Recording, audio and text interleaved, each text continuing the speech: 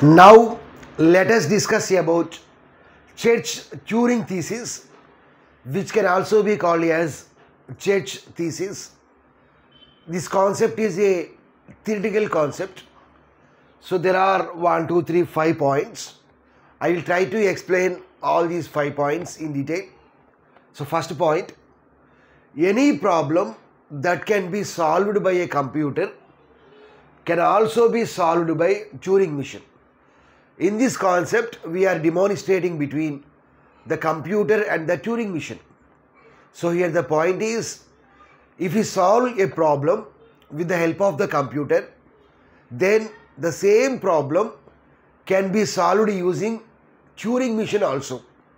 That means, if a computer performs 100 operations, 100 computations, then Turing machine can also perform all the 100 computations. Next point, Church Turing thesis states that Turing machine compute exactly same things that the computer computes. So that means if the computer performs 100 operations, then all the 100 operations will be performed by Turing machine also. So here the computing functionality of the Turing machine and the computer are same. Next point, unfortunately this thesis that means the Church Turing thesis was not proven but it was but it is believed based on some evidences. So here there is no theorem, no proof per Church Turing thesis. It is not proven but we have some evidences. So based on those evidences we can stay, we can say that this is correct. The thesis is correct. But unfortunately this thesis is not practically proved. Next point, no one has yet suggested a problem that is solved by a computer but for which Turing machine program cannot be written. So here the point is a computer can perform the operation but the same operation cannot be done by Turing machine.